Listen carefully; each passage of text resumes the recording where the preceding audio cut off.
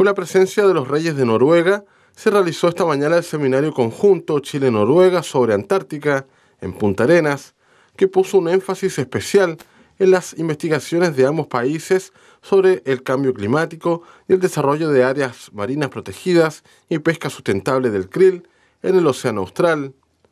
Al encuentro asistieron los reyes de Noruega, como también, entre otras autoridades, el ministro de Ciencia, Tecnología e Innovación, Andrés Kou. Como gobierno hemos definido tres grandes ejes de acción con respecto a la investigación. Una tiene que ver con envejecimiento, otra con cambio climático y otra con revolución tecnológica.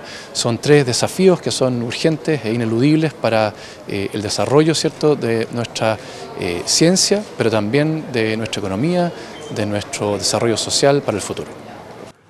El seminario busca presentar la política y prioridades de ambos países en la Antártica, contribuir a la cooperación científica noruego-chilena en la gestión de recursos en el Océano Austral, incluido el trabajo sobre las áreas marinas protegidas e informar sobre los desarrollos de la propuesta Chile-Argentina para el establecimiento de un área marina protegida en el sector de la península antártica. Nosotros estamos recién construyendo un ministerio, ese ministerio va a entrar en funcionamiento probablemente el próximo año y, eh, y en el marco de, esa tarea tenemos que instalar el ministerio, tenemos que hacer que la ciencia sea un tema relevante para, no solamente para los científicos, sino que para toda la ciudadanía.